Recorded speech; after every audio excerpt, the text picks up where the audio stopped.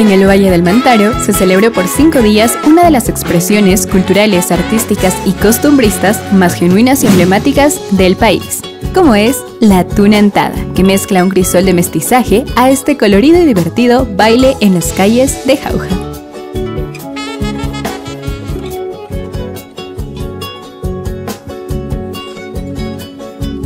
La tunantada es una danza de rica herencia cultural y una de las más significativas de la región, y en Gaceta Magazine fuimos parte de esta celebración.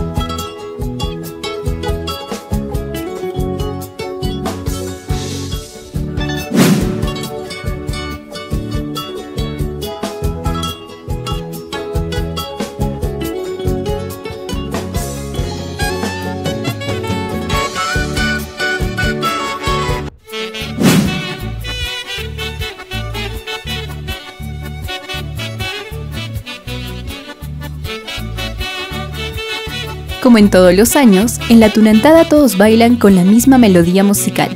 Sus pasos son semejantes entre sí, pero no idénticos, pues los principales lo hacen con movimientos señoriales, igual que argentinos, chutos, guatrillas, jamille, chuncho, el viejo y la vieja, el doctorcito y el cusqueño.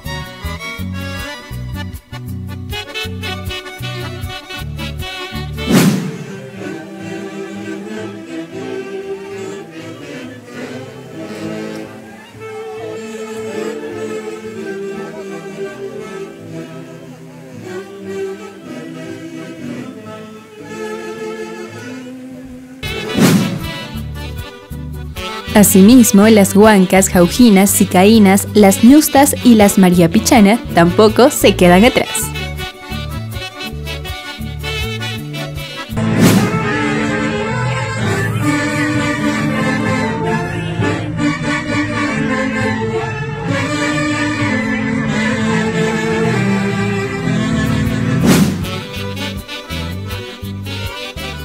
Cada personaje baila independientemente de los demás y hacen una pausa cada cierto número de compases de la melodía quedando un instante inmóviles, como si fueran a posar para un fotógrafo imaginario, arrancando suspiros y aplausos de un público que viene de tan lejos para celebrar junto con ellos el ser parte de un patrimonio cultural.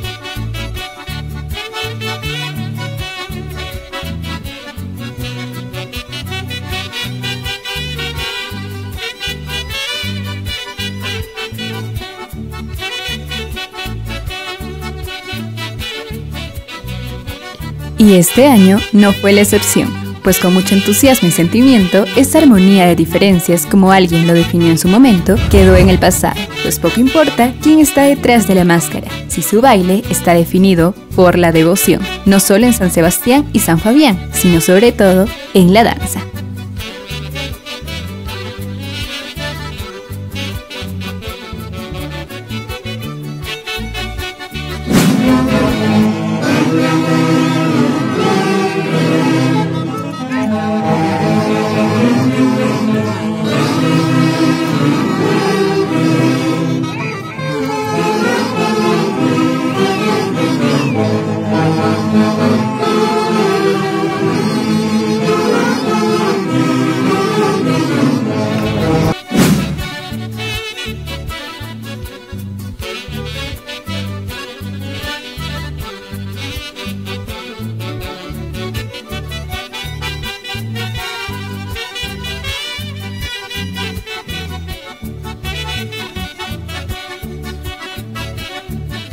Ser tunantero es transformarse y hacer suyo el personaje, es venir de lejos y unirse a la cuadrilla con la misma ilusión desbordada que desde chicos a uno le enseñan. Es también integrar un conjunto y cumplir cada regla danzando por las calles y escenarios de yauyos, que por esos días se vuelve nuestro bar.